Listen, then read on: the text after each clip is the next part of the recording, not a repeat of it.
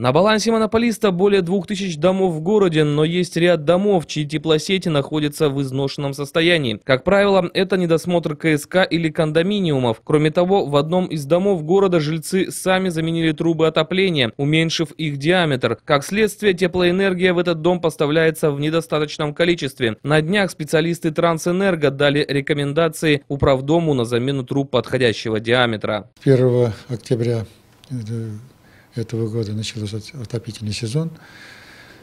До начала отопительного сезона проводились капитальные текущие ремонты, а также в сентябре месяце, в середине сентября проходило э, гидравлические испытания всех сетей. Все прошли, с 1 сентября, э, октября начали отопительный сезон. На сегодняшний день значит, отопление подается по температурному режиму, согласно температурного режима СТЭЦ.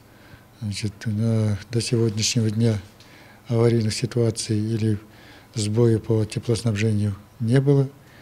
И в дальнейшем мы готовы дальше продолжать в таком же темпе подачи тепла. Тем не менее, по данным теплоэнергетиков, около 60% теплосетей сейчас находятся в изношенном состоянии. В год ремонтируется около 2,5 километров трубопровода, а для того, чтобы резко снизить износ сетей, необходимо увеличить объем ремонтных работ в 4 раза. Но для этого у компании не хватает средств. Антон Пережогин, Алексей Уразов, программа «Факт».